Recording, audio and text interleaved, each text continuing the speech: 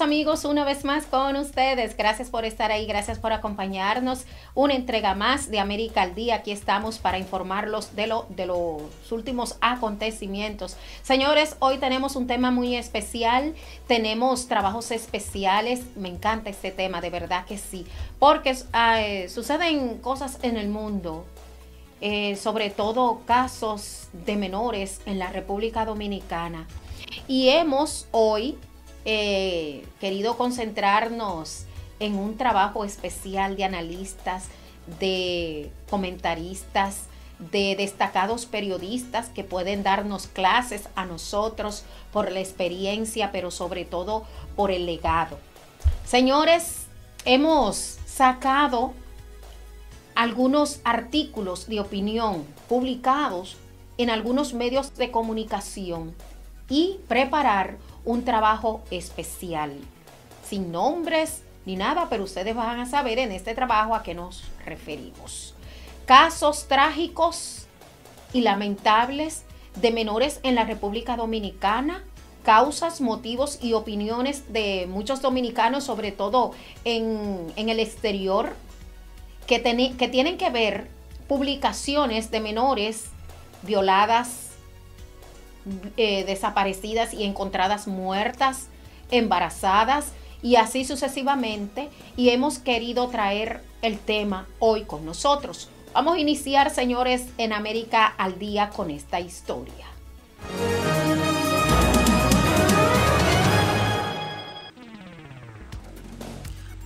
Luego de reiteradas muertes de menores adolescentes en la República Dominicana, diversos analistas han publicado artículos de opinión y análisis en diferentes medios de comunicación de circulación nacional e internacional que ha traído consigo pareceres encontrados. Citamos uno reciente del destacado periodista Nelson Encarnación, el cual coincide con inquietudes de muchos dominicanos del área triestatal en los Estados Unidos, sobre todo en los estados de Nueva York y Nueva Jersey, donde viven miles de dominicanos preocupados por la situación de violencia en su país.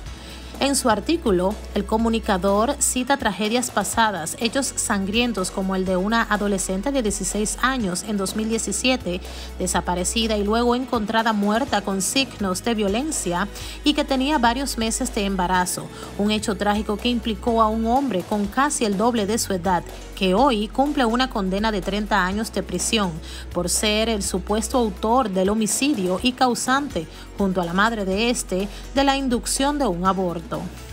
También cita otro hecho reciente sangriento y criminal que ha consternado a los quisqueyanos de República Dominicana y el exterior, a casi seis años después de aquel evento socialmente desgarrador y mediáticamente conmovedor, muy similar es el de otra joven de 16 años desaparecida y luego encontrada muerta, otro episodio frustrante para la sociedad y del cual muchos se han preguntado dónde está el problema.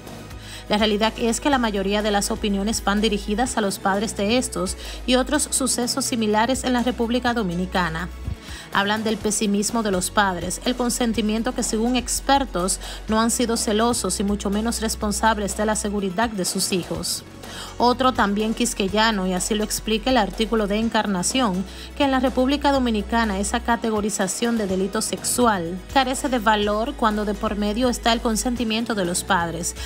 Menores con amores con hombres que en muchas oportunidades le triplican la edad y lo peor del caso el consentimiento de los padres no mueve la acción pública, por lo que los padres deben ser cautelosos a la hora de consentir relaciones de sus menores con adultos, ya sea por conveniencia u otros factores. La realidad es, y ya para concluir, que según opinan la gran mayoría, para evitar situaciones lamentables como lo antes dicho y contar con la ley para protegerlos de estas relaciones, dicho de otra manera, de hombres con problemas psicológicos o de conducta, debe usted trabajar y educar a sus hijos para darle una vida mejor y no buscar otros beneficios más fáciles, los cuales pueden terminar en tragedias. Vanessa Vázquez, América al Día.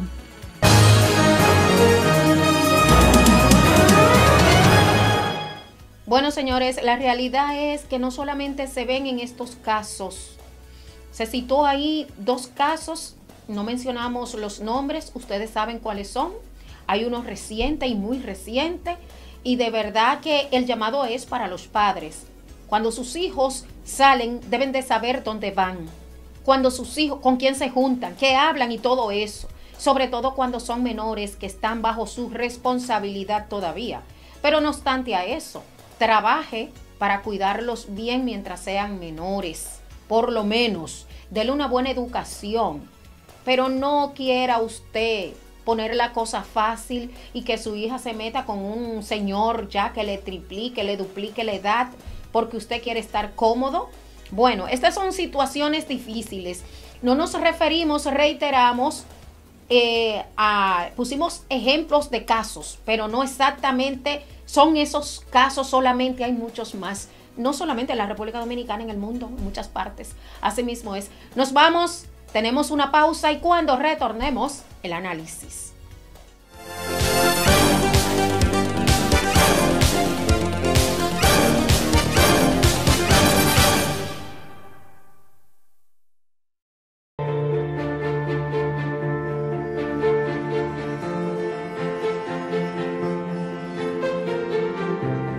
Venido a San Cristóbal en un momento en que hemos logrado una reducción importante del crimen y el delito en todo el país. Hemos tenido uno de, de los meses de diciembre más exitosos en materia de seguridad ciudadana, con unos resultados espectaculares y eso también se debe en gran medida a la gran unidad que hemos logrado construir entre la Policía Nacional, el Ministerio Público, la Dirección de Control de Drogas y el Ministerio Interior de Policía. Todos los actores que tienen que ver con la seguridad ciudadana estamos trabajando en una sola dirección y eso permite resultados como estos, que hay también un nivel de confianza entre los actores saben que cada arma que son recuperadas por la Policía Nacional, que van a la Fiscalía y que van al Ministerio de Interior y Policía, esas armas no volverán a las calles. Esas armas no volverán a ser utilizadas para el crimen y para el delito.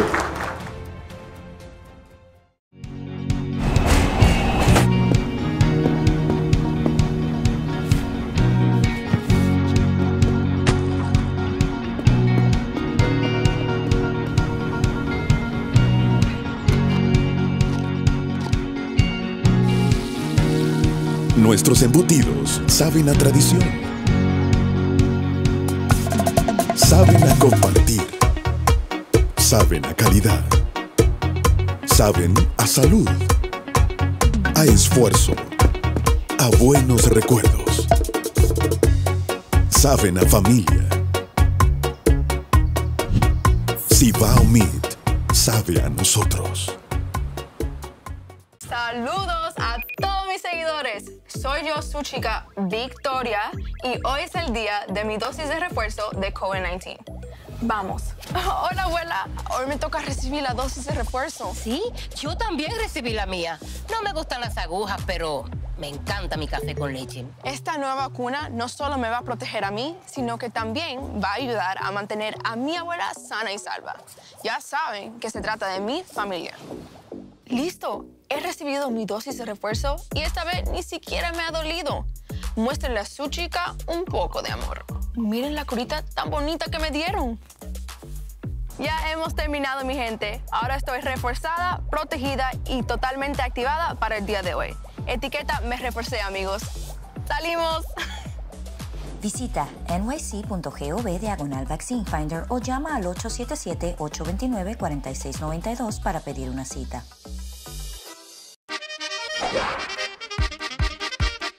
Llevamos el carnaval por dentro y por fuera. Diablos, roba las gallinas, califé, tiznaos, papeluces, llenan las calles de colores y la alegría de que siempre hay nuevos motivos para celebrar. El orgullo dominicano se pega.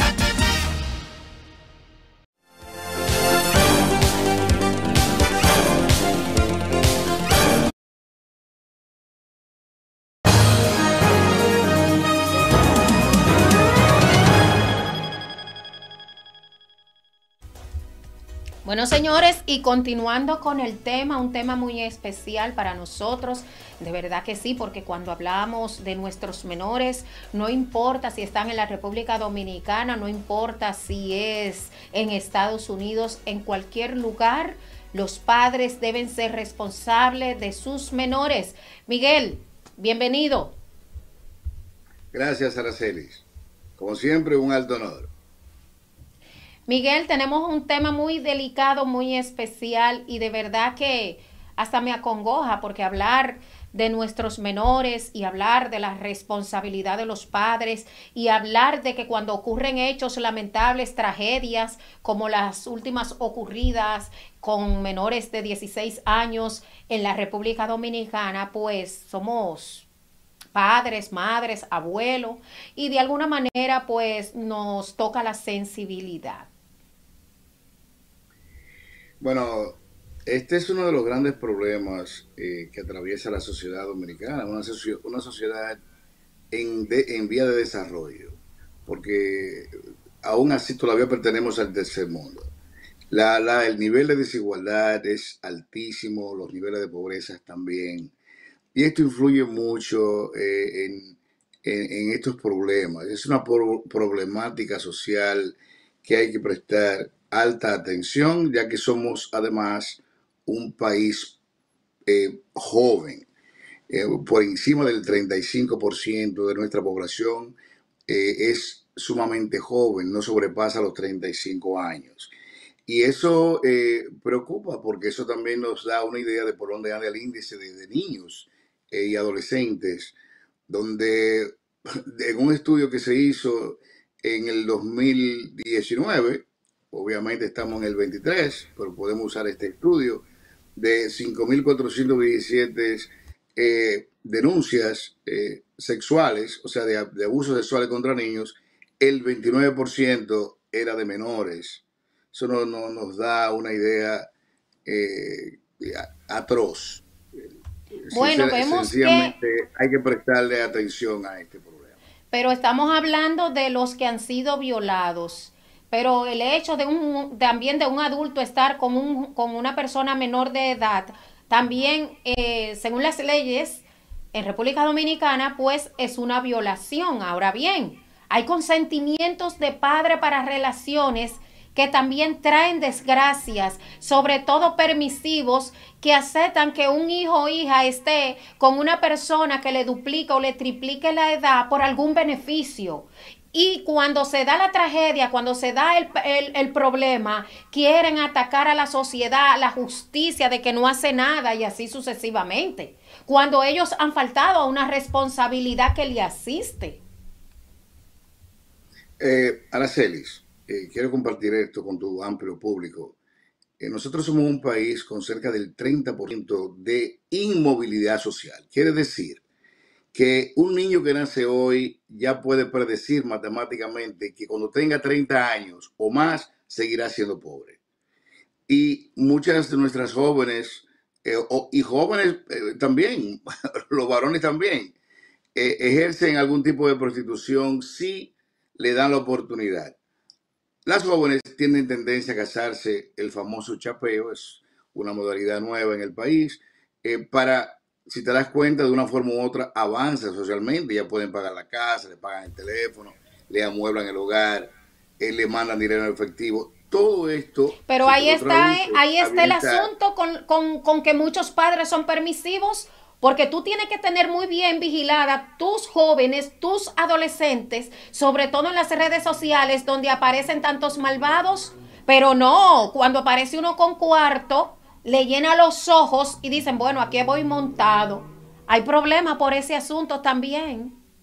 Los gobiernos, cuando digo los gobiernos, hablo de todos, los locales y el gobierno central, tienen que prestar atención a esto. Yo pienso que la mejor forma es hacer publicidad. Eh, hay que crear conciencia a través de la publicidad. ¿Por qué? Bueno, porque ahora mismo las condiciones materiales de existencia no están dadas. Entonces tú, eh, eh, la, la, pobreza se combate con un plan, con planificación. Y ahora mismo estamos estancados. Mira, la pandemia y la guerra de Ucrania han sumado 300 mil pobres a la República Dominicana. Y eso indica que en vez de mejorar, la situación tiene tendencia a empeorar. Entonces, tenemos que hacer concientización, eh, a, través de todos los medios para llegar a la población y decirle al padre que el hecho de que haya atravesado una vida eh, con pobreza no significa que él tenga que vender sus hijas. Eso se da en el país, Araceli.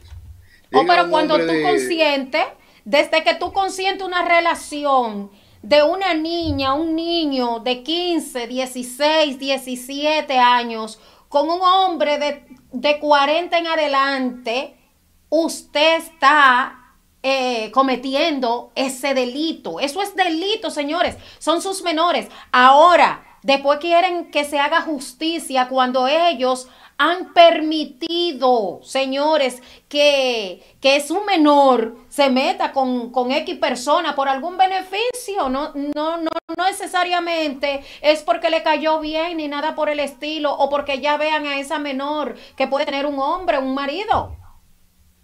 Sí, eso, eso es algo que eh, hay que evitar y también la conciencia intrafamiliar es importante. Eh, crearle conciencia a los padres, crearle conciencia a los hijos, eh, que debe ser una vida eh, social ejemplar y una vida social que sea dignificante, porque creo que en algún momento hemos perdido como el orgullo de individuo. Eso hay que rescatarlo. Es importante. Yo recuerdo que en, mis años de adolescencia, un hombre averaje cualquiera de mi barrio, sea Villajuana, o sea los Jardines del Norte, decía, yo soy pobre, pero soy honrado. Sí, eso no se está viendo ahora. bueno, señores, querer, tener las cosas fáciles, eso es un problema. Miguel, muchas gracias. Un placer, Aracelis. Espero verte pronto. El placer es de nosotros siempre tenerte aquí. Bueno, señores, pasamos a la República Dominicana. Precisamente allá tenemos a nuestra compañera Vanessa Vázquez con algunas informaciones de interés para todos. Adelante.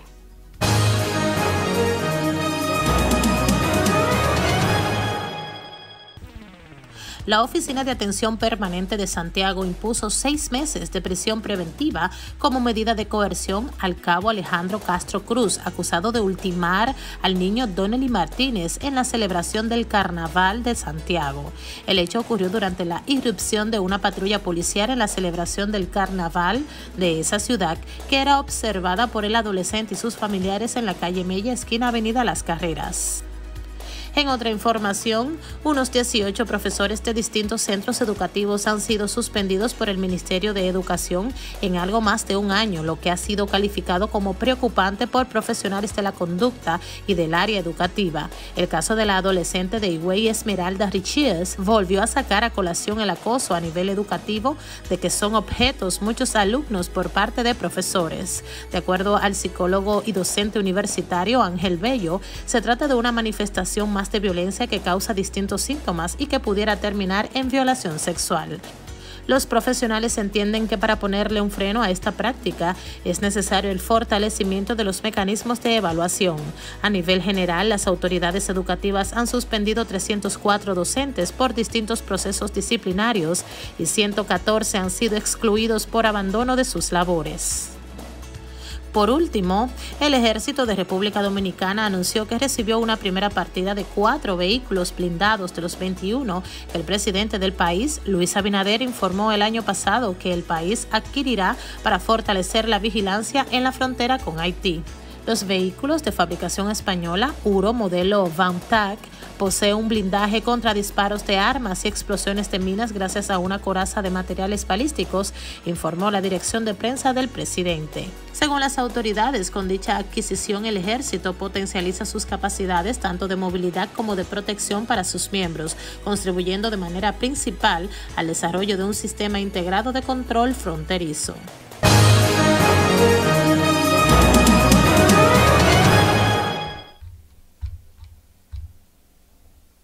Bueno, señores, gracias a nuestra compañera Vanessa Vázquez. Antes de irnos a una pausa, vamos a pasar otro trabajo especial que hemos traído para todos ustedes. Señores, Estados Unidos está tras los traficantes de, de drogas principalmente. Hay un decomiso realizado en Puerto Rico y este es el ejemplo que tenemos de que las autoridades estadounidenses están tras la pista de esos traficantes. Pero no obstante a eso, también tenemos eh, una, una, información que hemos querido eh, fusionarla con esto para que usted se entere también de algunos dominicanos que han sido eh, que han sido sacados de Estados Unidos, deportados a la República Dominicana. Tenemos esta historia.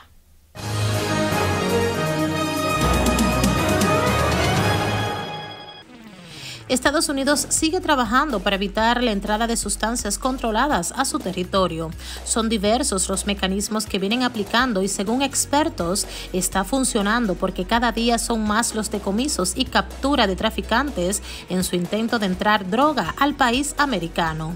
Un caso reciente fue la captura de una embarcación procedente de República Dominicana, según asegura la Oficina de Aduanas y Protección Fronteriza de Estados Unidos en Puerto Rico, que incautaron 45 kilogramos de cocaína, valorado en 990 mil dólares, que estaban ocultos en una embarcación que arribó alegadamente desde República Dominicana. Cabe decir que según el comunicado difundido por las autoridades, agentes de investigaciones de seguridad nacional se hicieron cargo de la pesquisa y según afirma, las incautaciones de droga en las aguas ubicadas en la costa oeste de Puerto Rico son frecuentes ya que el llamado Canal de la Mona que separa dicha isla de República Dominicana es una ruta utilizada habitualmente para el narcotráfico. Y en ese mismo orden, hablando de capturas, llegan a República Dominicana otros 120 deportados desde los Estados Unidos que cumplieron condenas en cárceles de esa nación por tráfico de drogas, asesinato, asalto, falsificación, fraude, violación y secuestro, entre otros delitos. Llegaron al aeropuerto de las Américas en un avión fletado y escoltados por agentes federales estadounidenses que le entregaron a oficiales de la Dirección General de Migración, la policía, la DNCD, el DNI, el J2 y del Cuerpo Especializado de Seguridad Aeroportuaria de Aviación Civil de la República Dominicana. Los recién llegados estaban presos en Nueva York, Boston, Los Ángeles, California, Filadelfia, Massachusetts, Texas, Miami y otros estados. Vanessa Vázquez, América al Día.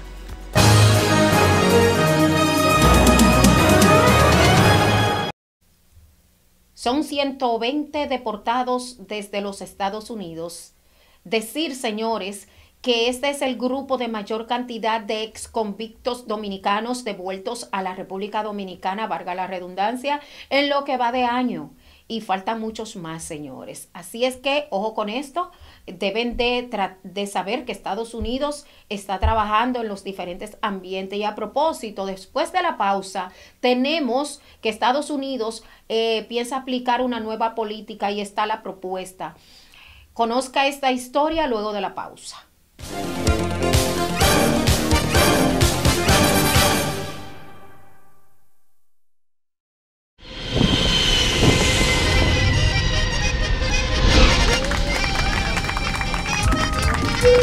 Ser dominicano se pega. No importa dónde estemos, nuestro orgullo sobresale. Somos dominicanos cuando colamos el café y le damos una bola al vecino, cuando lloramos de la risa o le ponemos ritmo al silencio. Somos dominicanos cuando celebramos nuestra cultura, sabiendo que estamos cada día mejor y respetamos las diferencias. El orgullo dominicano se pega sigamos siendo patria.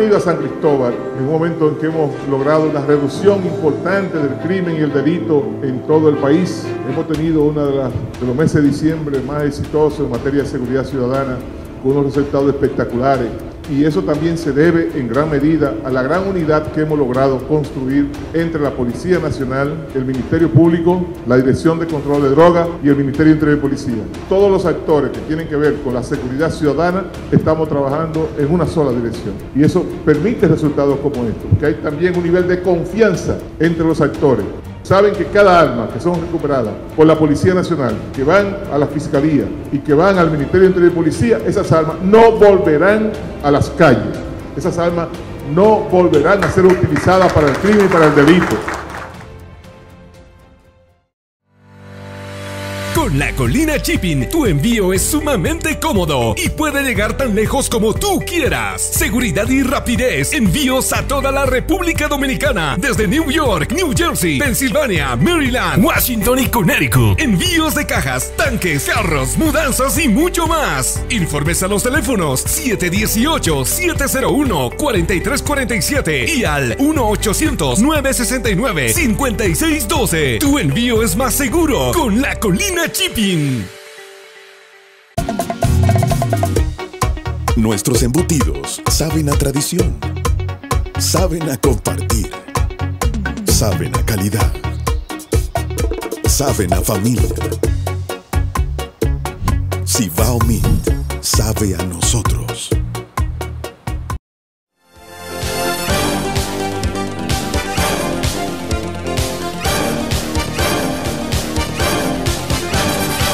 Gracias por continuar con nosotros. Señores, Estados Unidos también está trabajando en una propuesta para limitar el acceso de asilo de los migrantes que crucen a este país a través de la frontera sur. Tenemos esta historia.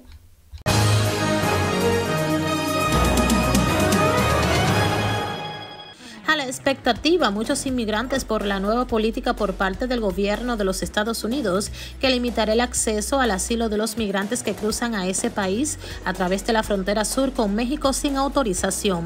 La realidad es que el Departamento de Seguridad Nacional y el Departamento de Justicia ya están emitiendo una regla propuesta para incentivar el uso de procesos legales nuevos y existentes y desincentivar los cruces fronterizos peligrosos, según un comunicado.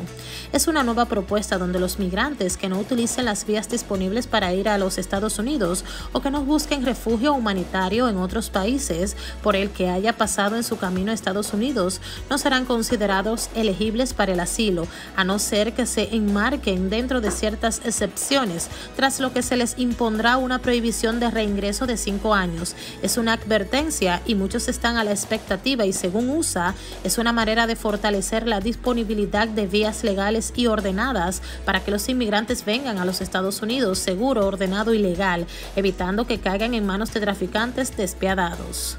Vanessa Vázquez, América al Día.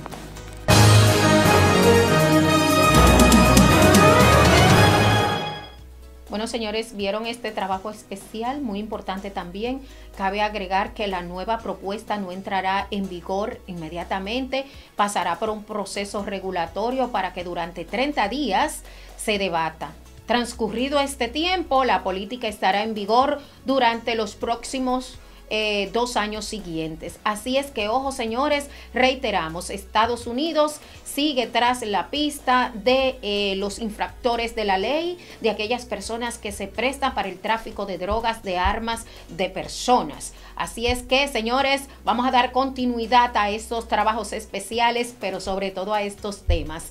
Nos vemos mañana a la misma hora, su servidor Aracelis Carvajal, por supuesto por este mismo canal y a la misma hora. Bye bye.